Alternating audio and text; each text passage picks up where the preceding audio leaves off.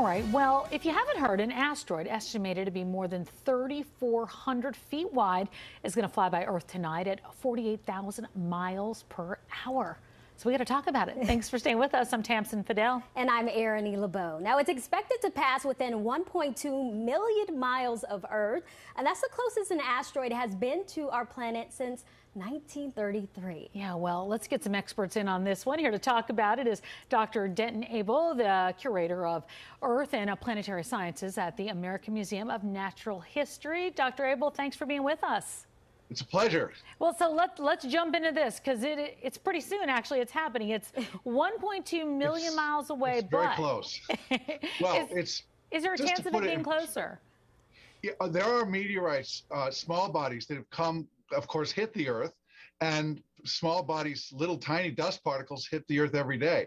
But this is a big body. It's a kilometer in diameter, as you've said, like the Empire State Building almost, and but it's wide also. It's not tall and skinny but it's it's going to come about four earth moon distances. So it's not as close as the moon which is is good. It's very good because that's a big piece of rock. The uh, width of this asteroid how is something like that measured? We use radar primarily. Um, we can tell sort of how big it is by how much light it, sunlight it reflects but unless we know what the surface is made out of it could be very very that could be misleading so radar is the best because we send signals out and they come back to us we can time them and um, we can see how where it is how fast it's moving all kinds of cool things all right, so you're the expert, and so we, we hear about this when it's something that's just kind of phenomenal. But is this pretty common, or just not something this big that common?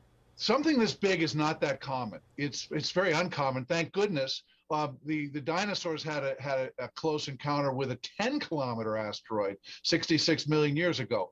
Uh, we don't want that to happen, and we're actively scientists, not myself, are working actively to try to make this not happen and figure out what to do if it should happen. Now, Doctor, uh, if we want to take in this phenomenon, how can we uh, see it at this point? There will be live feeds on the web. Um, I noticed that there it was a Italian telescope that's going to be uh, in a good viewing position.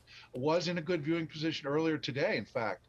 And these will be live streamed, uh, so one can look on the web and find out who is streaming what telescopic observations of this thing.